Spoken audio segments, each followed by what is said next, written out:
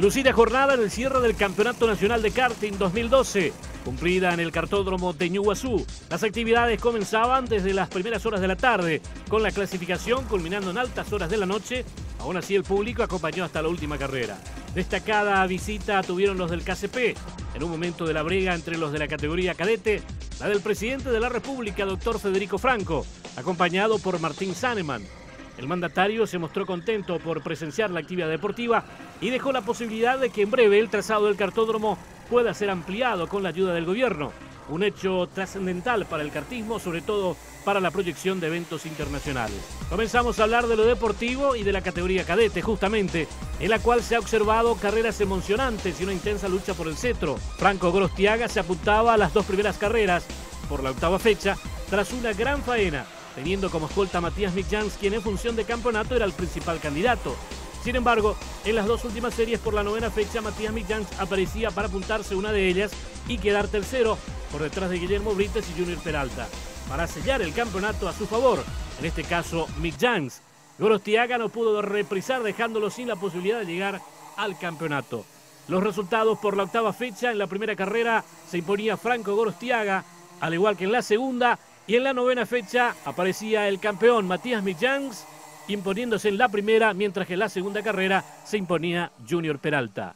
Vibrantes carreras en la categoría Rotax Junior Max, con un nivel muy parejo entre los competidores, por cierto, entusiasmando a los organizadores en el primer año de los motores Rotax en el kartismo paraguayo.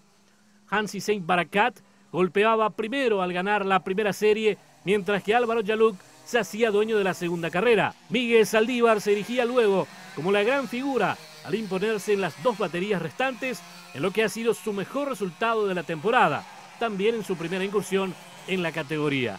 A pesar de que Mateus Becker alcanzó un solo podio en toda la jornada, le bastó para llevarse el título merecidamente. Los resultados por la octava fecha en la categoría Rotax, el triunfo en la primera carrera fue para Hansi Saint Barakat, en la segunda triunfaba Álvaro Yaluk. En lo que respecta a la novena fecha, Miguel Saldívar conseguía el doblete en la categoría. Como en la anterior fecha, la C-Sudán y Supercar compartían la pista con pilotos de muy buen nivel, que mostraron lo suyo en este final de campeonato. Juan Martín Masi y Elio Argüello se enfrascaron en una batalla muy particular en la C-Sudán. Cada uno tuvo lo suyo. Masi se apuntó la primera, mientras que Argüello veía una bandera negra en la segunda, por la octava fecha, para recuperarse después. Sin embargo, Marcos Fonsbecker se prendía adjudicándose dos carreras en esta doble cita. El campeonato finalmente fue para el piloto Juan Martín Masi. En Supercar brilló alto Manuel Cabrera, con una impecable faena, llevándose tres de las cuatro carreras. Por supuesto, la cosecha fue más que buena, el título de la temporada para el piloto del CAR número 99.